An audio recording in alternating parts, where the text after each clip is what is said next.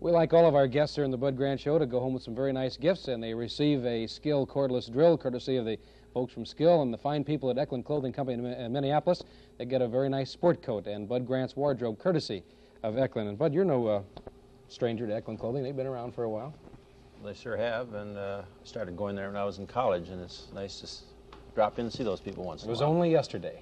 Only yesterday. Only yesterday. Jim, uh, we talked about the field and the footing. Next week at uh, New Orleans, you'll be playing in a place that, that uh, none of the Vikings have played yet, and that's in the Superdome. But uh, you're not all that hot uh, about artificial turf, though, are you? Oh, I don't like it very much, and that's putting it very mildly.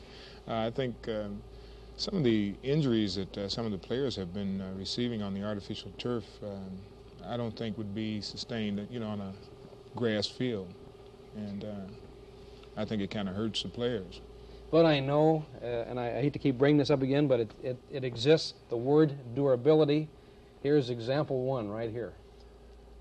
Uh, there's no question about it. Jim's an amazing person, and uh, maybe he can tell us how he does this. Uh, play every Can every, you tell every us? week. Do you know? you know, It's a secret. I know. A fountain of better, youth. better put in a bottle. uh, Let's let's go back to your beginning days of football. Where where did it all begin for you? Well, it started out in uh, Columbus, Ohio.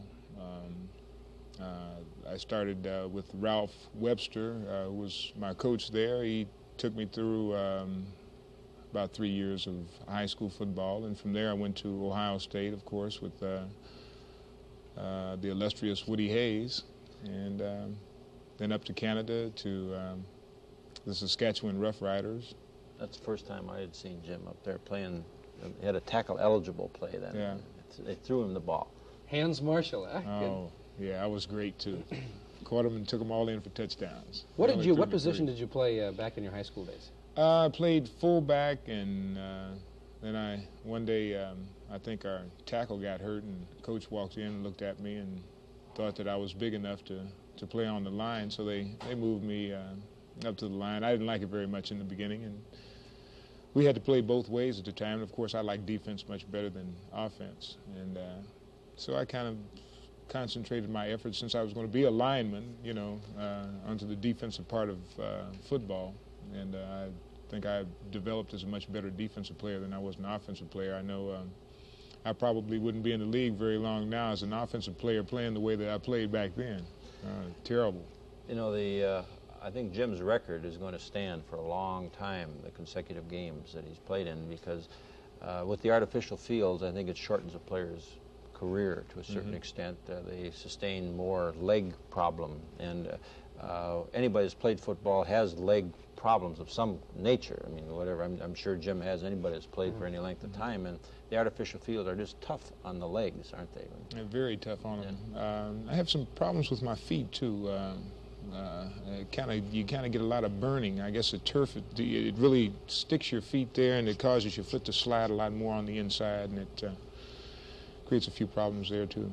Of course, I know uh, when when the when the stuff first came out, Lou Brock, an outfielder on the Cardinals, of course, this is on hot summer days, has to put asbestos in his shoes. Mhm. It's that hot. Now, of course, when you play on hot days, you have to worry about that too. Oh yeah, the heat is tremendous. Uh, it's it's Right. far hotter than uh, than it is uh, uh, in the stands or any place, I think, because you get a concentration of all the heat Yeah. there, and then the sun coming down on that field, and it just holds it right in there. So that's. I don't think anybody approached Jim's record, which is how many games? Two. Uh, it's, uh, it's 18? two. I don't know. Two something. It's it's, it's around there, and I Yeah. shouldn't you know I should have looked that up uh, before we went on tonight, but it is, and it's I like remember you the 213. Yeah. Back during the beginning. And he hasn't sign, showed any signs of slowing down. No, that's No, why though. Can anybody answer why? he won't tell us.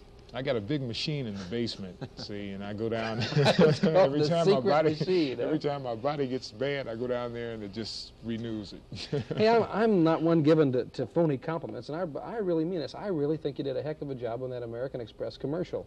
You know, when I first saw it, and I thought, oh, Jim Marshall, you know, and I looked at it, and I, I've seen it now about five or six times.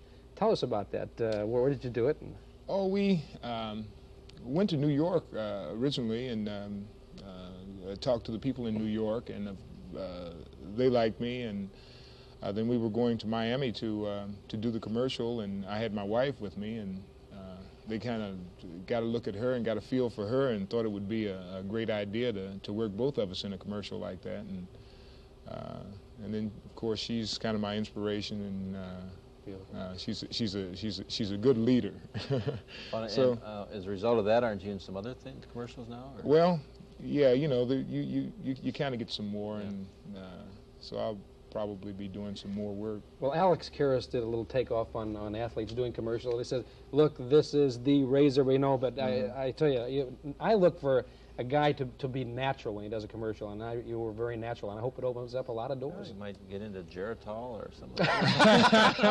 That's what does it. He uses Geritol. What's this bit about uh, you might go into hang gliding?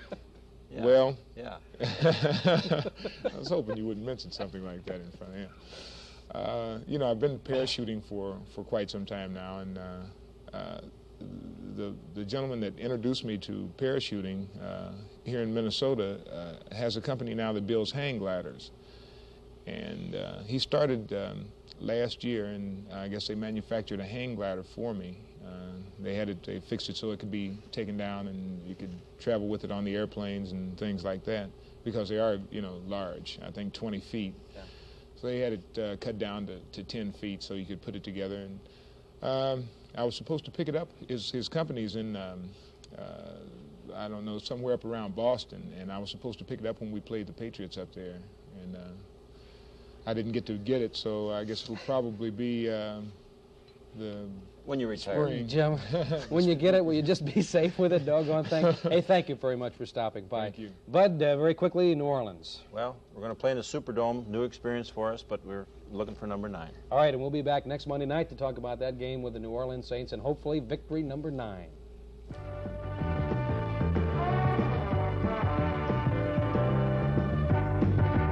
This has been the Bud Grant Show with Minnesota Vikings head coach Bud Grant and Channel 5 sports director Tom Ryther. The Bud Grant Show was pre recorded.